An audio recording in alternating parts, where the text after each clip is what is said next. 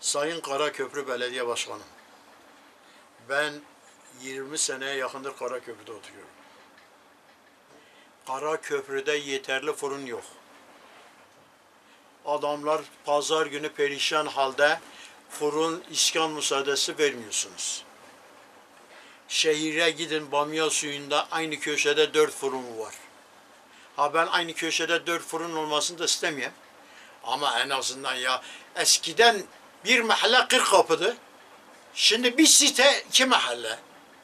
E hiç olmazsa siz de Sayın Başkanım bu konuları göz önüne alın. Yeni yapılan binaların altına fırın mı, bakkal mı, market mi ne gerekiyorsa yardımcı olun.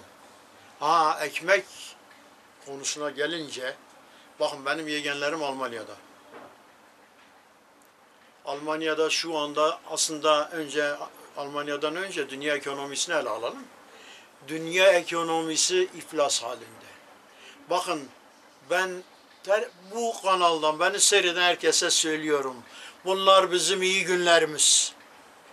Arabaları kapının önüne bağlayıp otobüsten işe gidip geleceksiniz. Ben otobüsten gidiyorum. Sağ olsun başkanlar bize tahsis etmişler gidiyor. Dört kağıtta, beş kağıda neyse. Bakın dünya ekonomisi çatlıyor, çıtır diyor. Buğday yok, un yok. Almanya'yı söyledim ya. Yegenlerim diyor dört marketi gezdik, bir kilo un bulamadık, bir kilo yağ bulamadık. Bugün Amerikan ekonomisi 40 yıldan bu yana ilk olarak enflasyon yüzde dokuza yükselmiş. Bütün dünya iflas halinde. Devletimiz önlem almak için mücadele verdikçe açıklarımız büyüyor. Bunun önüne geçmek için bizim de tasarruf yapmamız lazım. Tabii bu tasarruf yapılırken hep birlikte yapacağız. Denetim yok. En büyük şikayetim denetim yok. İsim vermeyeceğim çünkü bütün esnaf bir yakıcık gidecek.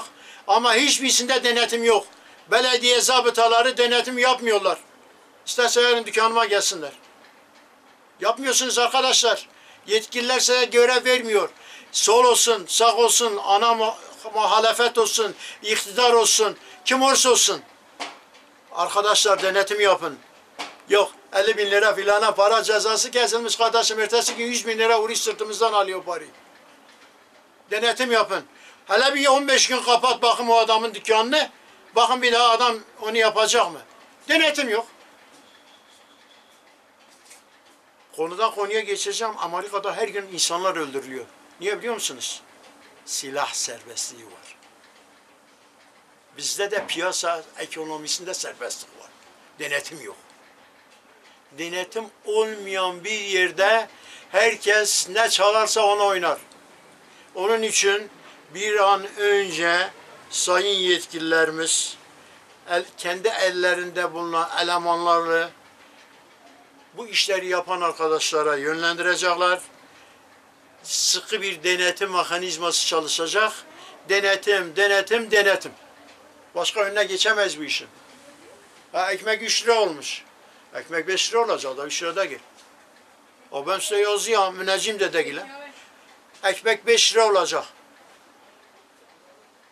Bakın dedim, arabalar kapının önünde duracak, herkes otobüsle işe gidecek. Ekmek 5 lira olacak. Gene bunlar iyi günlerimiz. Şeker var, yağ var, her şey var, pirinç var. Allah bundan da etmesin. Biraz dikkatli olak.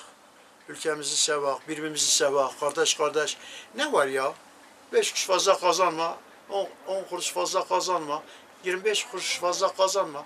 Biraz da sen şey yont ya. Varangoz pazarına git bak hiç kimse keseri dışarıya doğru yontmaz. Herkes kendi kendine doğru yontar. Biraz da komşuya doğru yontak ya. Kendi halkımızı düşünek ya.